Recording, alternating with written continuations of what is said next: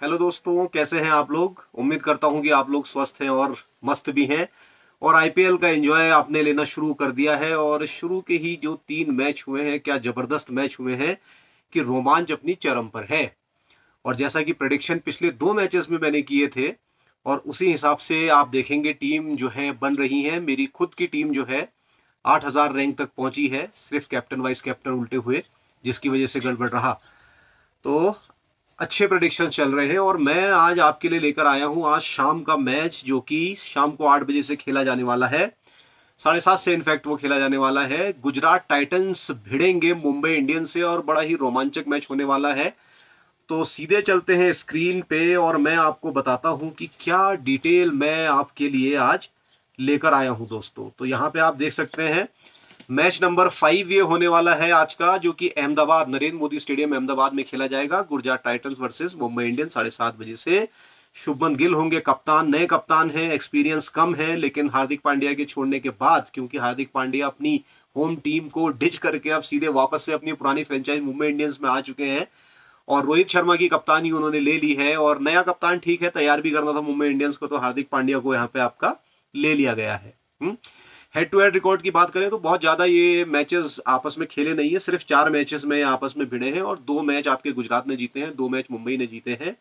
Last पाँच match की बात करें तो याद होगा गुजरात टाइटन का सफ़र जो है हार्दिक पांडे की कप्तानी में बड़ा बेहतरीन रहा। दो सीज़न बहुत बढ़िया निकाले, एक में फाइनल उठाया, एक में फाइनल पहुँचे। तो गुजरात टाइटन जो लास्ट जो है फाइनल ज़रूर हार गए थे, आपको याद होगा। अदरवाइज़ ये देखिए पाँच में से तीन मैच जीत कर आए हैं। और ठीक वैसा ही मुंबई के साथ भी है। पाँच में से ये आपके तीन मैच जीत कर आए हैं, लेकिन ये भी क्वालिफायर जो है, गुजरात से ही आपको याद होगा, पिछले बार हार गए थे। और लास्ट के चार मैचेस की बात करें तो दो दो का मुकाबला रहा है। नरेंद्र मोदी स्टेडियम की अगर मैं बात करता हूँ, वहाँ पे ये मैच होने जाना है। गुजरात टाइटंस की स्क्वाड देखेंगे तो बैटर्स में आप ज़्यादा रिलाय करेंगे। शुभमन गिल पर भी आपको याद है, पिछले मैच के, पिछले सीज़न के ये ऑरेंज कैप भी है। सबसे ज़्यादा रन शुभमन गिल ने पिछले बार बनाए हैं। मैथ्यू वेड अवेलेबल नहीं है क्योंकि आपकी शेफिल्ड ट्रैफिड खेल, ट्रॉफी खेल रहे हैं। अभी ऑस्ट्रेलिया में आए नहीं है। मिलर अवेलेबल है। केन विलियमसन भी अवेलेबल है। रिद्धिमान शाह ओपनिंग करने उतरेंगे गिल के साथ। बी एस शरद को एज रिप्लेसमेंट ये लेकर आए हैं क्योंकि रॉबिन मिंज एक्सीडेंट में घायल हो गए। उनकी जगह इसको लाए थे। तो बैटिंग में तो सिर्फ़ ये आपके छह ही दिखते हैं और इनमें से भी यूज़ कोई चार होने हैं आपके।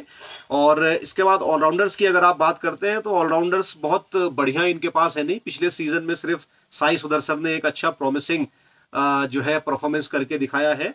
और अविना मनोहर ने एक पारी बहुत बढ़िया खेली थी। इसके अलावा कोई बहुत बढ़िया शाहरुख खान से प्रदर्शन निकल के आया नहीं है। विजय शंकर डोमेस्टिक में ठीक ठाक कर रहे हैं।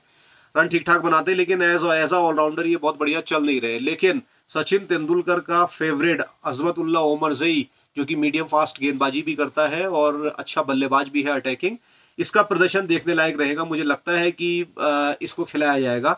और अगर इसको खिलाया जाता है तो फिर क्वीन विलियमसन और इसके बीच में मुकाबला हो सकता है कि किसको रखे, किसको छोड़े, या फिर विजय शंकर बिल्कुल ही बाहर हो जाएँगे। इसके बाद आप देख सकते हैं बॉलिंग डिपार्टमेंट खासा मज़बूत नज़र आता है। इनफैक्ट पिछले बार की अगर आप याद करें तो purple cap, Mohammed Shami, Gujarat Titans, number two, number दो पे विकेट लेने वाले राशिद खान और फिर मोहित शर्मा, तीनों ही गुजरात टाइटंस के ही थे। और वो पूरी की पूरी गेंदबाजी तो यहाँ पर नहीं है, क्योंकि मोहम्मद शमी अभी एंकल इंजरी से जो है उभर रहे हैं। तो राशिद खान अवेलेबल रहेंगे और राशिद खान के साथ आप देखेंगे मोहित शर्मा। ये दो इस समय कमांड करेंगे, पूरी पूरी लीड लेंगे, क्योंकि 20 विकेट मोहित शर्मा ने भी पिछले बार लिए हुए हैं। तो ये दो बेहतरीन गेंदबाज यहाँ पे रहने वाले हैं। और जोश लिटिल का भी डेब्यू कराने की सोचेगा, किसी न किसी मूवमेंट पे, आज नहीं तो कभी और कराने की सोचेगा, क्योंकि अच्छा गेंदबाजी लिखते, देखते हैं भारत में क्या कर पाता है। नूर अहमद ने भी बढ़िया गेंदबाजी एक आध बार करी हुई है। जयंत यादव पहले मुंबई के लिए खेलता था, अब यहाँ आ गया है। राहुल तेवतिया एज ऑलराउंडर बहुत ज़्यादा सफल साबित नहीं हुए हैं। गुजरात टाइटंस के बॉलर्स की बात करेंगे तो उमेश यादव उमेश यादव को देखना पड़ेगा, क्योंकि इसने और रोहित शर्मा ने काफ़ी साथ में खेला है। रोहित शर्मा की कमी जानता है ये। तो ये रोहित शर्मा को जो है अपनी जो गेंद जो बाहर की तरफ़ निकलती है उससे जो आउट स्विंग टाइप का होता है या ऑफ़ कटर टाइप का बाहर को जो निकलेगा उससे ये रोहित शर्मा को फंसाने की कोशिश करेगा। उमेश यादव की जगह टीम में बनती है। स्पेंसर जॉनसन को इस बार इन्होंने साइन किया हुआ है। देखते हैं कि कब इनको खिलाया जाता है। Sandeep Warrier as a replacement आए हुए हैं इंजरी की वजह से है। कोई खिलाड़ी इंजर्ड था उसकी वजह से। कार्तिक त्यागी है। सुशांत मिश्रा को इन्होंने लिया हुआ है। हम्म, ये आपकी स्क्वाड रहने वाली है। इसके अलावा आप देखेंगे पिछले मैच की अगर बात करें पिछले सीज़न की आईपीएल सत्र की बात करें तो सबसे ज़्यादा रन शुभमन गिल के बल्ले से ही निकले थे आठ सौ नब्बे जो कि इनका ही गुजरात टाइटंस का खिलाड़ी था। इसके अलावा आप देखेंगे गुजरात टाइटन का कोई और खिलाड़ी बहुत ज़्यादा टॉप स्कोरर्स में आया नहीं था। हम्म? हार्दिक पांड्या की कप्तानी में बैलेंस टीम ज़रूर बन के जीती थी लेकिन आप देखेंगे इस, इस बार जो है अब ये हो सकता है कि भी कप्तानी का बोझ अगर आ जाए शुभमन गिल पे तो बल्लेबाजी ना कर पाए। हालाँकि ऐसा लगता नहीं काफ़ी टैलेंटेड प्लेयर है। तो इसको प्रदर्शन देखने के लायक रहेगा ध्यान रखिए। और हालाँकि मुंबई इंडियंस का सूर्य कुमार यादव भी है लेकिन आज के मैच में अवेलेबल नहीं है वो वो नहीं खेलेगा। हम्म, इसको आप ध्यान देंगे। ईशान किशन ज़रूर खेल रहा है तो ये आप देखें मुंबई के दो खिलाड़ी यहाँ पर इस जो है सूर्य कुमार यादव और ईशान किशन भी आपके लीडिंग रन स्कोर स्कोरर्स में थे तो ईशान किशन पर नज़र रखनी पड़ेगी। अगर पर्पल कैप की बात करते हैं तो मोहम्मद शामी ने 28 विकेट लिए थे और 27 विकेट लिए थे राशिद खान ने और 25 विकेट देखिए मोहित शर्मा ने लिए थे 20 नहीं 25 यहाँ पे लिए हुए हैं। तो ये तीनों की तीन खिलाड़ी इसके ही थे लेकिन फिर चौथा मुंबई इंडियन का था पीयूष चावला। हम्म, तो इनके भी पीयूष चावला के ऊपर भी आपको नज़र रखनी पड़ेगी ये प्रदर्शन आप ध्यान में रखेंगे इन लोगों का। शुभमन गिल का अगर यहाँ पे करियर स्टेट की बात करते हैं तो बहुत ज़्यादा देखने की ज़रूरत नहीं सिर्फ़ और सिर्फ़ शुभमन गिल ही एक बहुत बेहतरीन खिलाड़ी नज़र आते हैं। सैंतीस दशमलव सात ज़ीरो का एवरेज है। लगभग सत्ताईस सौ नब्बे रन इन्होंने बनाए हैं, एक शतक, तीन शतक इनफैक्ट इन्होंने लगा दिया है। बाकी का सारा स्टेट आपके सामने देखेंगे, कोई बेहतरीन, बहुत बढ़िया इसमें नज़र नहीं आ रहा। सिर्फ़ जो आपके खिलाड़ी, जो टीम में परमानेंट रह सकते हैं, शुभमन गिल की जगह मुझे लगता है बहुत बढ़िया रहेगी। इसके अलावा केन विलियमसन भी 36 के एवरेज से रन बना के गए हैं और डेविड मिलर। तो ये तीन खिलाड़ी जो आपके रहेंगे, ये मेन बैटिंग लाइनअप फॉर्म करेंगे। शुभमन गिल है, केन विलियमसन है और साथ ही साथ आपका डेविड मिलर है। इसके बाद के खिलाड़ी जो है एज डिफरेंशियल आ सकते हैं, या इनकी जगह आप ऑलराउंडर्स को यूज़ कर सकते हैं, क्योंकि कोई भी और खिलाड़ी जो है, उसका इतना बढ़िया प्रदर्शन अभी तक रहा नहीं है। विजय शंकर और अजमतुल्ला उमर जई में कंपटीशन है। जिसको भी खिलाया जाएगा, उसको आपने टीम में रखना पड़ेगा। चाहे आप उमर जई को रखें, चाहे आप विजय शंकर को रखें, क्योंकि विजय शंकर भी एक हज़ार रन बना चुका है। हालाँकि विकेट इसने फिर नहीं लिए हैं तो वहाँ से ये थोड़ा सा गड़बड़ी वाला मामला चलता है। एवरेज भी बहुत ज़्यादा नहीं है तो मुझे लगता है उमर जई को शायद प्रेफरेंस दी जाए अगर विदेशी खिलाड़ियों का नंबर का बैलेंस इनका बराबर रहे। तेवतिया कोई खास नहीं रहे, ना बल्ले से, ना ही आपका गेंद से। जोश लिटिल अभी नए आए हुए हैं। मोहित शर्मा के ऊपर ज़रूर ध्यान रखा जाएगा। सौ मैच में 119 विकेट ये ले चुके हैं तो ये एक स्टैंड आउट खिलाड़ी रहेगा ही रहेगा। साथ ही साथ उमेश यादव को भी अगर आप देखते हैं तो 141 मैच में एक सौ छत्तीस विकेट ये भी ले चुका है। तो मोहित शर्मा और उमेश यादव तो टीम में रहेंगे रहेंगे और राशिद खान, यही आपका जो है गेंदबाजी कमान संभालेंगे दोस्तों, इसका आप ध्यान में रखेंगे। इसके अलावा बाकी और कोई खिलाड़ी का आप देखें, ये सारा सब पे नज़र मारेंगे तो किसी का ऐसा कोई प्रदर्शन बहुत बेहतरीन लगता नहीं कि जिसको खिलाया जाएगा। साथ ही साथ उमर जई डेब्यू करेगा आपका, सुशांत मिश्रा को शायद मौका मिले ना मिले, मानव सुथर को लाया गया है। लेकिन ये कोई भी खिलाड़ी इतना भयंकर प्रदर्शन करने में अभी नाकामयाब रहा है। सिर्फ़ और सिर्फ़ नूर अहमद को अगर आप यहाँ देखेंगे तो तेरह मैच में सोलह विकेट ज़रूर है। तो कहीं पे ये आपका कुछ ना कुछ काम आ सकता है। बाकी स्टेट आपके सामने। इसके अलावा पिछले एडिशन में इन्होंने क्या किया था? तो पिछले एडिशन में मैंने बता दिया कि ऑरेंज कैप तो इसी के पास रही थी। तीन, आठ सौ नब्बे रन जो है गिल ने बनाए थे और अपना एक सौ उनतीस का सरफेस भी पिछले एडिशन में इसने बनाया और लगभग लगभग उनसठ दशमलव तीन तीन की एवरेज से साठ की एवरेज के आसपास से इससे रन बनाया है। रिद्धमान शाह कारगर साबित नहीं हुआ था, लेकिन विजय शंकर के बल्ले से तीन अर्धशतक निकले थे पिछले बार। यही फ़र्क है कि शायद ओमर जोई को ट्राई करें या इसको ट्राई करें। डेविड मिलर ने भी बत्तीस की एवरेज से रन बनाए थे। बाकी कोई और बढ़िया नहीं करा था। सिर्फ़ और सिर्फ़ जो है, राशिद खान आपको याद है, एक मैच में सेवेंटी नाइन बना गया था। सॉरी राशिद खान जो है आपका एक मैच में हाँ सेवेंटी नाइन बनाया गया था। हालाँकि ये मैच हार गई थी।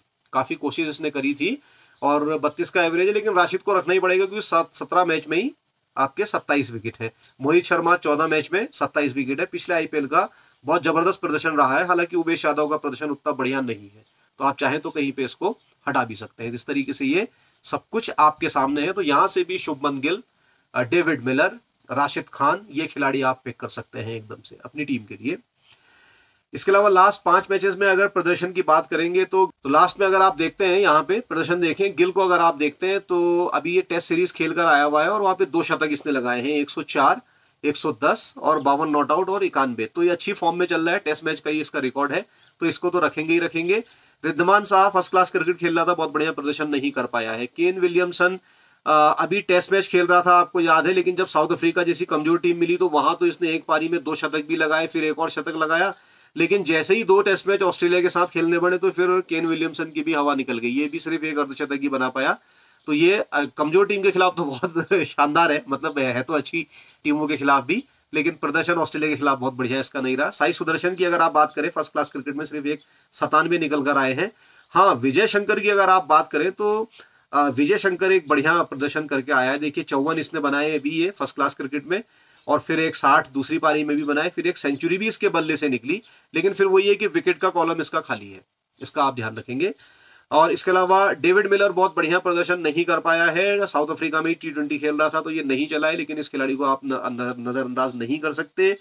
उमर जई लगातार विकेट ले रहा है। देखिए दो तीन और आप सात विकेट जो है पिछले टी ट्वेंटी और ओडीआई में ले चुका है। हालाँकि बल्ले से इसके बहुत ज़्यादा रन निकले नहीं है। तो देखना पड़ेगा इंटरेस्टिंग है कि खिलाते हैं या नहीं खिलाते हैं। तेवतिया का कोई बहुत बढ़िया फॉर्म नहीं है। हालाँकि इसने कुछ सात विकेट अभी फ़र्स्ट क्लास क्रिकेट में लिए हुए हैं। और एक शतक और दो अर्धशतक भी लगाए हुए हैं। हम्म, लेकिन ये फ़र्स्ट क्लास क्रिकेट का मामला है। राशिद खान बेहतरीन फॉर्म में है। लगभग लगभग आप देखें हर पारी में इसने विकेट लिए हुए हैं तो ये तो आपकी टीम में हॉट फेवरेट रहेगा ही रहेगा। जोश लिटिल को मौका मिले ना मिले लेकिन यही इज़ अमंग द विकेट्स अगर मिलता है मौका तो इसको शायद खिलाना पड़ेगा।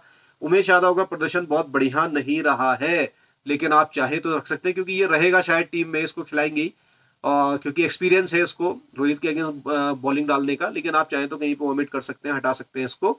मोहित शर्मा भी टी खेल रहा था, लेकिन तीनों टी में इसको कोई विकेट नहीं मिला, लेकिन उससे पहले ये जो आपका खेल रहा था फ़र्स्ट क्लास क्रिकेट वहाँ पे इसने आठ विकेट दो पारियों में लिए हुए हैं। स्पेंसर जॉनसन बहुत अच्छी फॉर्म में लगा है लेफ़्ट लेफ़्ट आर्म पेसर है और भारतीय क्रिकेटर्स को लेफ़्ट आर्म्स के अगेंस्ट प्रॉब्लम होती भी है स्पेशली अगर आप देखें रोहित शर्मा को तो स्पेंसर जॉनसन को अगर मौका मिलता है तो लेफ़्ट आर्म की वजह से शायद इसको खिलाया जा सकता है उमेश यादव की जगह। तो लास्ट पाँच मैचों के प्रदर्शन के हिसाब से भी आप देख सकते हैं कि सिर्फ़ और सिर्फ़ शुभमन गिल एक बेहतरीन फॉर्म में नज़र आ रहा है। थोड़ा सा आप देख सकते हैं कि इन विलियमसन यहाँ पे नज़र आ रहा है। राशिद तो हमेशा ही टीम में रहेगा ही रहेगा। स्पेंसर जॉनसन मोहित शर्मा है, ये खिलाड़ी रहते हैं। इसके अलावा आखिर, देखिए हालाँकि आपस में गुजरात और इन्होंने बहुत ज़्यादा खेला नहीं है, लेकिन जितना भी खेला है, उसमें किया क्या है आप देखें। फिर से वही शुभमन गिल स्टैंड आउट नज़र आता है। सैंतीस की एवरेज से एक शतक, एक पिछले बार इसने बनाए हैं। ग्यारह मैच में चार सौ नौ रन ठोक दिए थे। रिद्धमान साहा पिछले बार मुंबई के पिछले बार नहीं, मुंबई के खिलाफ जितना भी खेला है, तैतीस की एवरेज से बनाया तो मुंबई को खेलना ये पसंद करता है। लेकिन याद रखिए, मुंबई में पिछले दो सीज़न में आपका बुमराह नहीं था।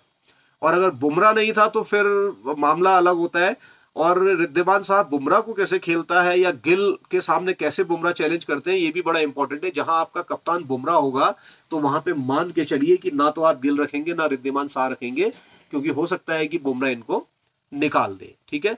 ठीक, इसी प्रकार से साई सुदर्शन को भी देख सकते हैं। बहुत बढ़िया प्रदर्शन इनका नहीं रहा था पिछले मुंबई के खिलाफ बहुत बढ़िया प्रदर्शन नहीं रहा है। अट्ठाईस का एवरेज है। ऐसे ही विजय शंकर भी बहुत बढ़िया प्रदर्शन नहीं कर पाए, लेकिन डेविड मिलर ने अच्छा प्रदर्शन किया हुआ है मुंबई के खिलाफ। तो डेविड मिलर आपकी ऑब्वियस चॉइस हो सकता है, छत्तीस का एवरेज है। इनफैक्ट गिल के बाद सबसे ज़्यादा एवरेज इसका ही नज़र आता है। राशिद खान को अगर आप देखेंगे तो 20 विकेट 14 मैच में इसने लिए हैं। तो फिर से यही खिलाड़ी नज़र आता है।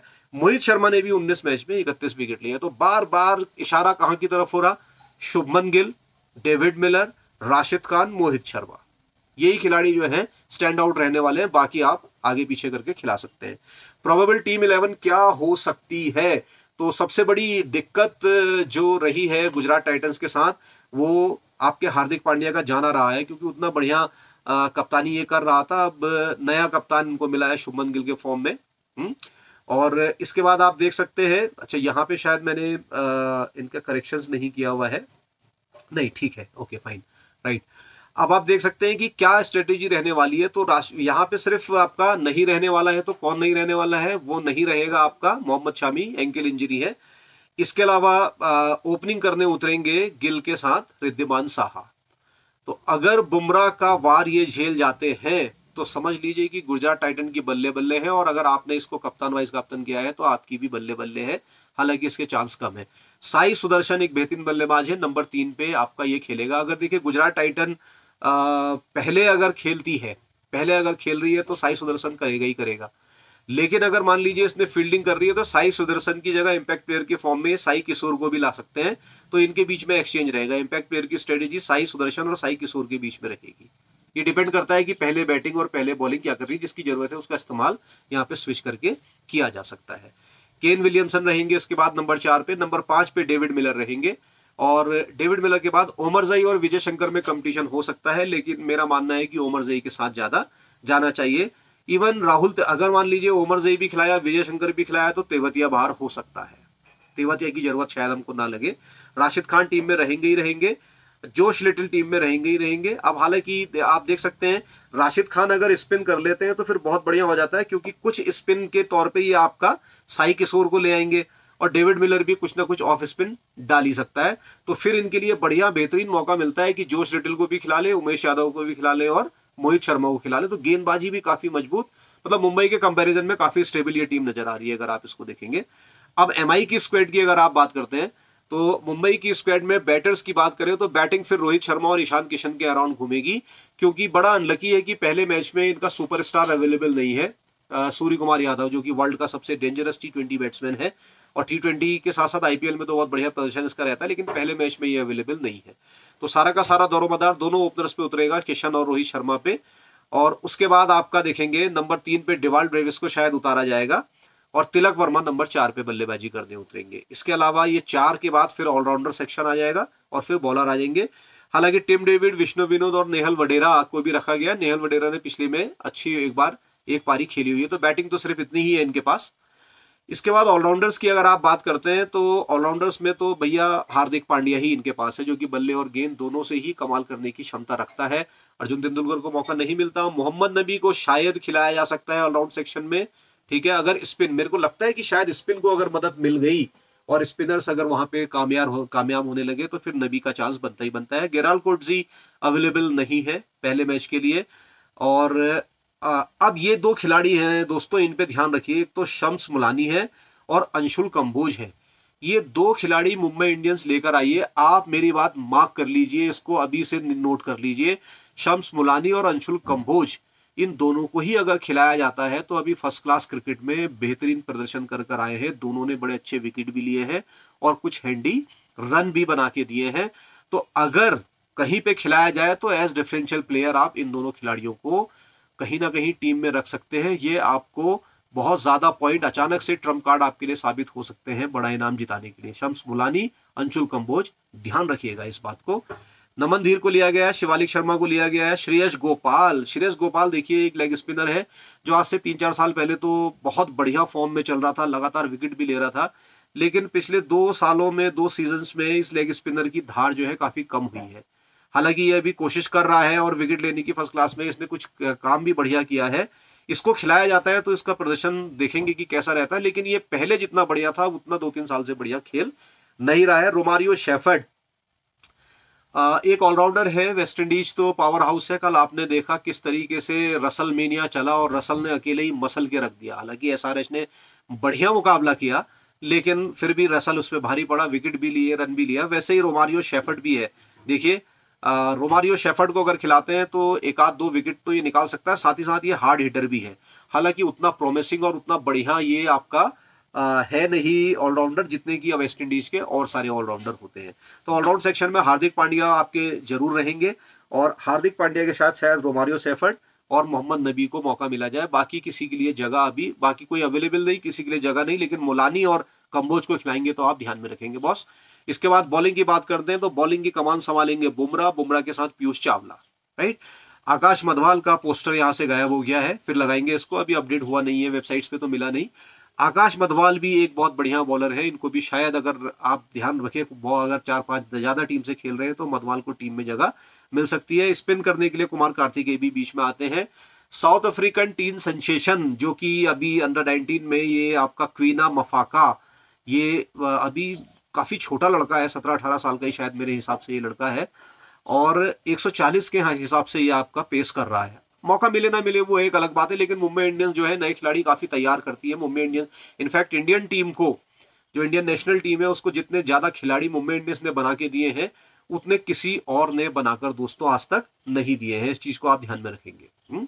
तो यहाँ पे आप देख सकते हैं क्विना मफाका है, नवान तुसारा को श्रीलंका से लेकर आए हैं। ल्यूक वुड जो है ये भी इंग्लैंड का यहाँ पर आपका आया हुआ है। लेकिन बॉलिंग सेक्शन में मेरे हिसाब से जो है बुमराह, कुमार कार्तिकेय पीयूष चावला, आकाश मधवाल यही अभी फ़िलहाल रहने वाले हैं दोस्तों, ठीक है? इसके अलावा करियर स्टेट की बात करते हैं तो यहाँ पे देखिए रोहित शर्मा के पास अथा एक्सपीरियंस है, छह हज़ार रन है इसके, एक शतक है। और एवरेज हालाँकि इसका थोड़ा सा कम है, लेकिन जिस तरीके की क्रिकेट आजकल ये खेल रहा है, रोहित शर्मा अटैकिंग क्रिकेट ये काफ़ी फ्रूटफुल साबित स्पेशली टी ट्वेंटी में हो सकता है। ईशान किशन बेहतरीन फॉर्म में रहते ही हैं। और तिलक वर्मा तो ये जो ऊपर के चार हैं आपके, रोहित, ईशान, तिलक और हार्दिक, ये तो आपकी टीम में जगह बनते ही बनते हैं। इसके बाद नेहल वडेरा, टिम डेविड वगैरह आते हैं। कहीं ना कहीं आप इनको ट्राई कर सकते हैं। और गैराल कोटजी आज के मैच में तो है नहीं डेब्यू करेंगे किसी न किसी समय। पीयूष चावला अभी आप देखें एक मैचेस में एक सौ उनासी विकेट ले चुका है। हालाँकि एक वेटरन क्रिकेटर जैसा ही साबित हो रहा है, लेकिन ये विकेट लेता ही लेता है। तो ये आपकी टीम में रहेगा ज़रूर। बुमराह को कैसे बाहर कर सकते हैं? बुमराह ज़रूर रहेगा। आकाश मदवाल भी आठ मैच में चार विकेट ले चुके हैं। इसके अलावा बहुत ज़्यादा प्रदर्शन बढ़िया किसी का रहा नहीं है। कुमार कार्तिकेय ने भी बारह मैच में दस ही विकेट लिए हुए हैं, विष्णु विनोद भी बहुत बढ़िया बल्ले से अभी तक लगे नहीं है। आईपीएल एडिशन लास्ट टाइम की बात करते हैं तो सिर्फ़ और सिर्फ़ तिलक वर्मा ही बयालीस बयालीस के एवरेज से बनाकर एक स्टार खिलाड़ी निकले थे, और इसी की, इनकी आईपीएल की प्रदर्शन की बदौलत इनको नेशनल टीम में भी जगह मिली थी, और टी ट्वेंटी में नेशनल टीम में भी बहुत बढ़िया खेले थे, लेकिन फिर वनडे में ये फ्लॉप हो गए थे। लेकिन तिलक वर्मा एक स्टार खिलाड़ी है तो जो बीच में ऑफ़ स्पिन भी डालता है कभी कभी विकेट भी ले सकता है। तो आप इसका भी ध्यान रखेंगे, बहुत अच्छी तरीके से इसका ध्यान रखना है। ईशान किशन अच्छी फॉर्म में है ही है, हार्दिक पांड्या आपकी टीम में रहेंगे रहेंगे। इसके अलावा कोई और ऐसा बेहतरीन खिलाड़ी नज़र नहीं आता है।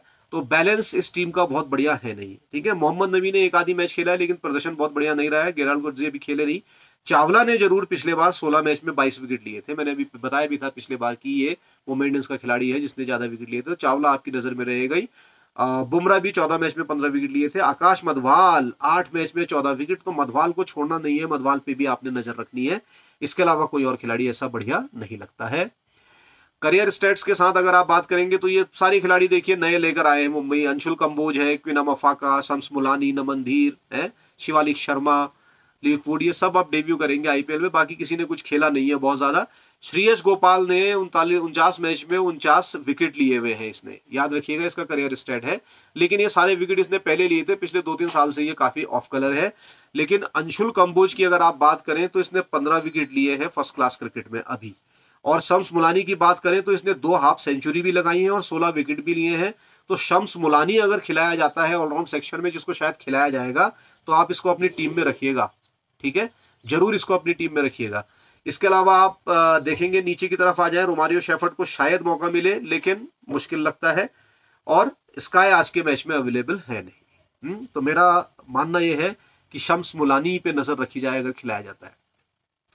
लास्ट पाँच इनिंग की अगर आप बात करते हैं तो रोहित शर्मा दो शतक टेस्ट सीरीज़ में इंग्लैंड के खिलाफ लगा के आए हुए हैं। अच्छी बल्लेबाजी कर रहे थे और एक अर्धशतक भी इन्होंने लगाया हुआ है। अच्छी फॉर्म में है। ईशान किशन अच्छी फॉर्म में है, सैतालीस अठावन बावन। ये आपके वनडे और टी दोनों का रिकॉर्ड है इनका। तिलक वर्मा अच्छी फॉर्म में है, एक शतक इन्होंने बनाया है, दो शतक इनफैक्ट इन्होंने बनाए हुए हैं फ़र्स्ट क्लास क्रिकेट में, और एक अर्धशतक और छियालीस, चौवालीस के बीच स्कोर है तो तिलक वर्मा अच्छी फॉर्म में है।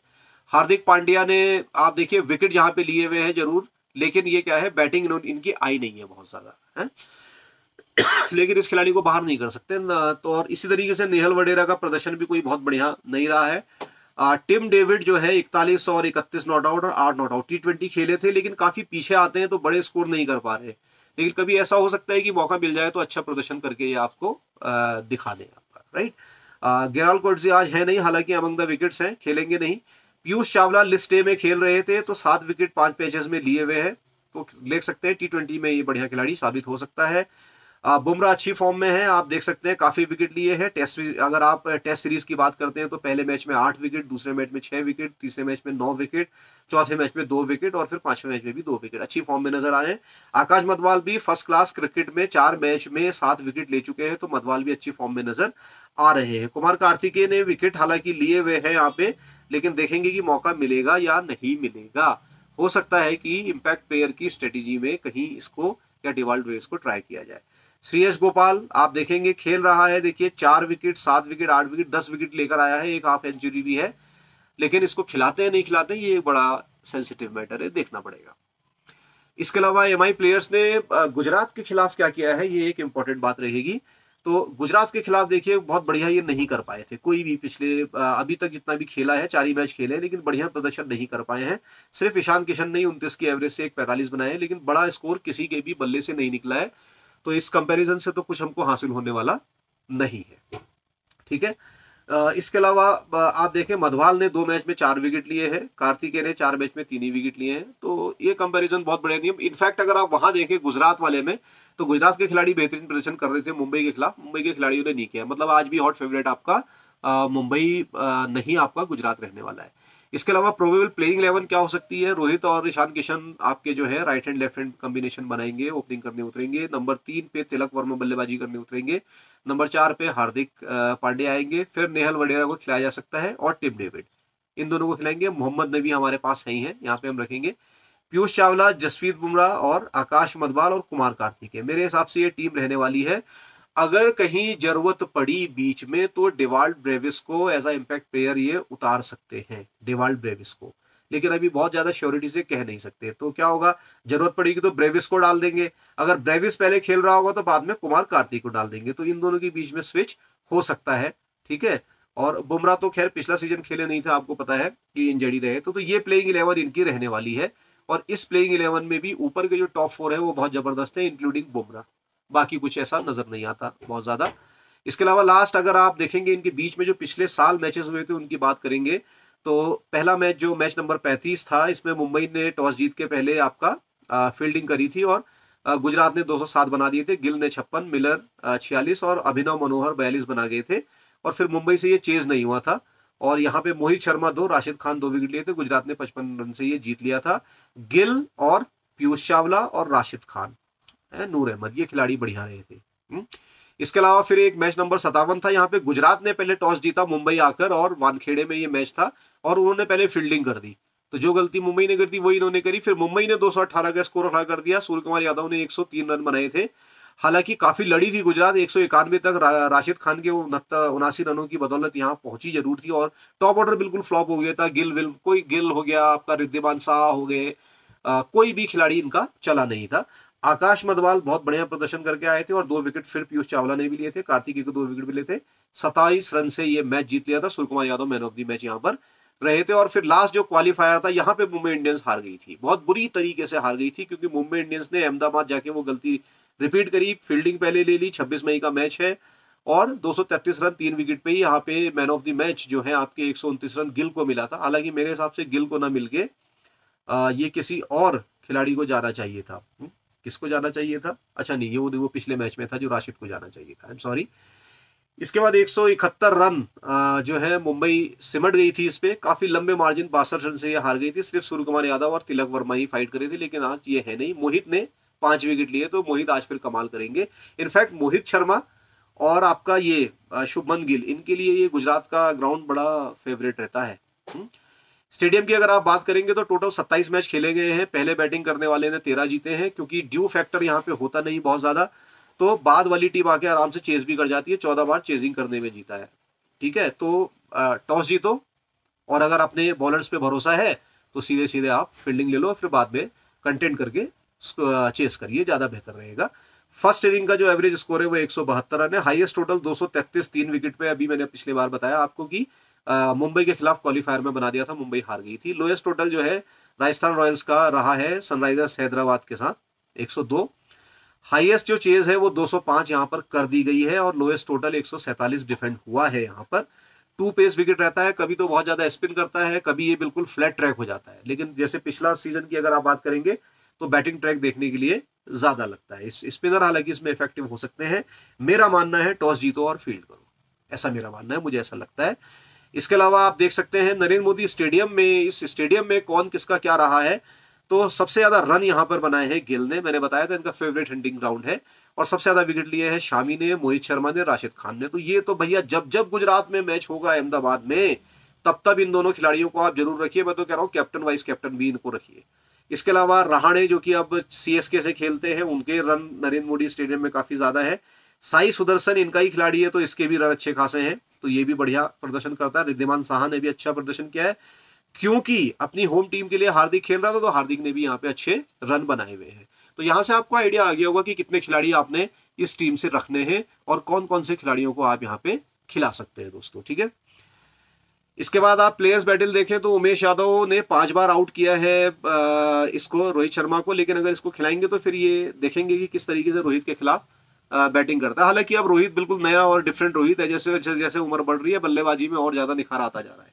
अभी रिटायरमेंट के नज़दीक भी नहीं लग रहा, जिस हिसाब से खेल रहा है। बुमराह वर्सेस गिल, ये एक इंपॉर्टेंट बात रहेगी और बुमराह जैसा गेंदबाज कैसे गिल के सामने इनफैक्ट ये वाला जो कंपटीशन है, इन दोनों के बीच में ये देखने में बड़ा मज़ा आने वाला है दोस्तों। इसको देखेंगे तो मज़ा आ जाएगा, पता चल जाएगा कि कौन क्या करने वाला है।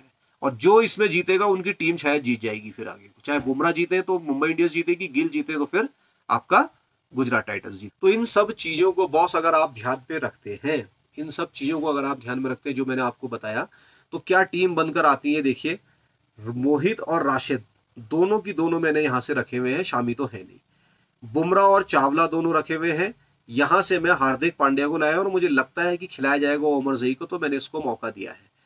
टॉप में मेरे पास यहाँ से आप देखेंगे कि रोहित शर्मा भी है और ईशान किशन, ये दो बढ़िया चल रहे हैं। तिलक वर्मा यहाँ पे नहीं मान के चल रहा क्योंकि मैं मान रहा हूँ कि पहले अगर मान लीजिए टॉस जीता और या टॉस हारा, जो भी रहा, किसी तरीके से अगर पहले, क्योंकि बैटिंग विकेट अगर हुआ तो फ़र्क नहीं पड़ेगा बैटिंग बॉलिंग का बहुत ज़्यादा। और यहाँ से गिल चल गया बहुत बढ़िया। बुमराह ने अगर मान लो निकाल भी दिया रिद्धिमान साहा को तो नंबर थ्री पे साई सुदर्शन आता है। इन दोनों ने अगर बढ़िया स्कोर कर लिया और अच्छा स्कोर बना के दे दिया तो काफ़ी मौका होगा मोहित और राशिद के पास इनको निपटाने के लिए। तो इसीलिए मैंने इनके तीन खिलाड़ी यहाँ पर रख दिए हैं। हालाँकि ओमर जई की पोजीशन देखनी पड़ेगी, खेलेगा या नहीं खेलेगा। और मुंबई के यही खिलाड़ी जो है स्टैंड आउट है। सिर्फ़ तिलक वर्मा की कमी आपको खल सकती है यहाँ पर। बाकी टीम वैसे ही रहने वाली है। दूसरी बार मैं मान के चल रहा हूँ कि मुंबई यहाँ पे अचंभित करने वाला प्रदर्शन करेगी और जीत के दिखाएगी। अगर ये जीत के दिखाने की कोशिश करती है तो रोहित शर्मा का रोल फिर इंपॉर्टेंट हो जाता है। रोहित शर्मा यहाँ पे रहेंगे और बुमराह को फिर, क्योंकि रोहित शर्मा अगर रन बना देगा, रोहित, किशन और तिलक, ये इनके टॉप थ्री हैं। नंबर चार पे आपका ये हार्दिक आना है। तो अगर ये बढ़िया, बड़ा स्कोर कर देते हैं तो फिर मेरे को गेंदबाजों को मौका देना पड़ेगा। तो वहाँ पे फिर मैं बाइस कैप्टन कर देता हूँ बुमराह को। और यहाँ पे मैं आकाश मधवाल के ऊपर विश्वास जता रहा हूँ। और फिर ऐसा भी हो सकता है कि इनमें से किसी खिलाड़ी को स्विच करके साई सुदर्शन अंदर आ जाए। हालाँकि ये इम्पैक्ट प्लेयर वाला बहुत ज़्यादा लोग अप्लाई कर नहीं रहे। इनफैक्ट जो भी दो तीन मैच हुए हैं, उनमें जो भी आपके ग्रैंड लीग के विनर रहे हैं, उन पे ये इम्पैक्ट प्लेयर वाला लगा नहीं है है? तो काफ़ी कुछ जो है अभी तक के प्रोडिक्शंस में मेरा ठीक ठाक जा रहा है। तो आप देख सकते हैं कि केमिस्ट्री ऑफ़ क्रिकेट में जो एनालिसिस मैं आपके लिए लाया हूँ कि आपके लिए कितना फ़ायदेमंद हो सकता है, इन चीज़ों को ध्यान में रखते हुए आप बेहतरीन टीम बनाइए। टेलीग्राम का लिंक डिस्क्रिप्शन बॉक्स में है, उसे आप ज्वाइन कर लीजिए और हमारे चैनल केमिस्ट्री ऑफ़ क्रिकेट को सब्सक्राइब करके हमें समर्थन भी करिए ताकि मैं कंटेंट आपके लिए लगातार लाते रहूँ। तो बेस्ट विशेष है आपकी फेवरेट टीम के लिए और आपके लिए भी कि हमारी पूरी फैमिली से कोई ना कोई एक ग्रैंड लीग ज़रूर जीते। ठीक है दोस्तों? तो मिलते हैं आपसे अगले मैच की स्ट्रेटेजी के लिए। तब तक अपना ध्यान रखें, स्वस्थ रहें, मस्त रहें। Bye bye take care